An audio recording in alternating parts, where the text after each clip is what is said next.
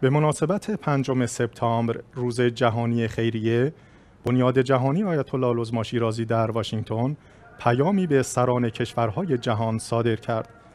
بنیاد جهانی آیت الله العظما شیرازی در پیام خود از همه رهبران و حاکمان کشورهای اسلامی خواست تا برای آزادی زندانیان سیاسی پیش قدم شوند.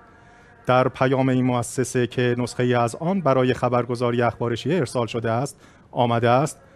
پنجم سپتامبر یک روز ویژه برای کارهای خیریه است که طی آن دیدگاه ها، تئوری ها و طرحهایی که به تقویت کارهای خیریه کمک می کنند بیشتر می شوند.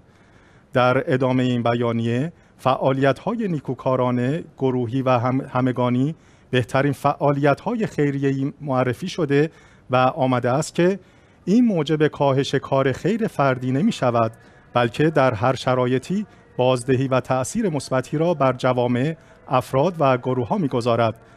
از این رو بنیاد جهانی آیت الله العظما شیرازی از همه رهبران و حاکمان کشورهای اسلامی خواست تا علاوه بر ارائه طرحهای برای بهبود برای بهبود وضعیت معیشتی شهروندان برای آزادی زندانیان سیاسی به ویژه زندانیان عقیدتی و مخالفان خود پیش قدم شوند و برای تحکیم جامعه تلاش کنند.